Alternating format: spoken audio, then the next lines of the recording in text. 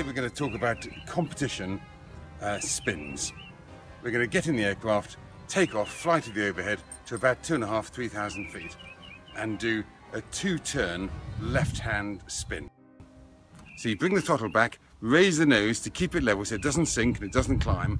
When the aircraft stalls, when the nose drops, you kick hard with the left foot, in this case, uh, and hold the left rudder in.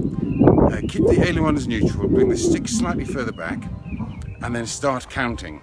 Each half rotation. Half, one, one and a half, and just before two, full power, full opposite rudder, and ease the stick forward, recover from the spin, then continue to the vertical down, looking at the wingtip, so it's vertical in pitch and also yaw, and then listening for the speed to increase.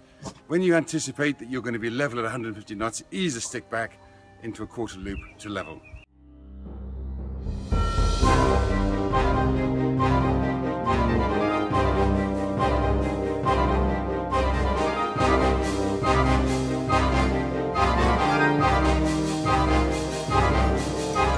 Okay, so the actions, we're looking at the ASI, looking at the horizon, looking at the angle of attack on the wingtip. I smoothly close the throttle so that the engine doesn't pop. And then as I do that, as the power comes back, I'm maintaining level flight, so looking at the altimeter, maintaining level flight, and, and therefore lifting the nose by bringing the stick back. Okay, when it uh, stalls, which in this particular case about 60 knots, I smartly put on full rudder and bring the stick back a little bit.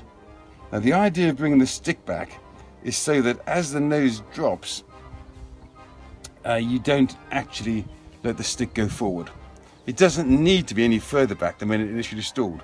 But if it goes forward at that point, then obviously it'll unstall and the, and the spin will, will look rubbish. So having uh, brought the power back, lifted the nose up, nose drops into a stall, full rudder, stick a bit further back, maintain you put on, make sure you don't put on any aileron, uh, and then count the turns. So it's half, one, one and a half, and then to recover, it's full opposite rudder and power, stick goes forward, looking at the wingtip, and get it vertical, both in yaw and in pitch, listen uh, for the speed, and then at about 130 knots, start pulling back, okay, so that you're level at 150 knots.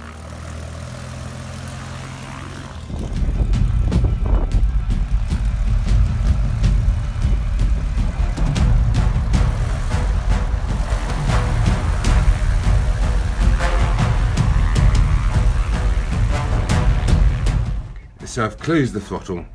The speed is coming back.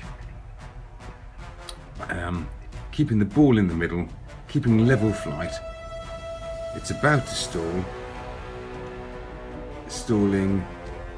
Now left rudder, back stick half, one, one and a half, opposite rudder, full power.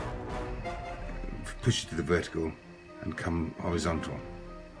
From this uh, flight you can see that uh, the aerobatic spin is just a development of a normal spin and of course entry is, is very straightforward. Recovery is very predictable, so much so that we recover on heading every time and we have a, a, an exact knowledge of the height loss involved. Um, you can see that it's clearly something that should be practiced at length with an instructor prior to um, undertaking aerobatics uh, solo. Okay, that was the spinning exercise, is a one and a half turn spin.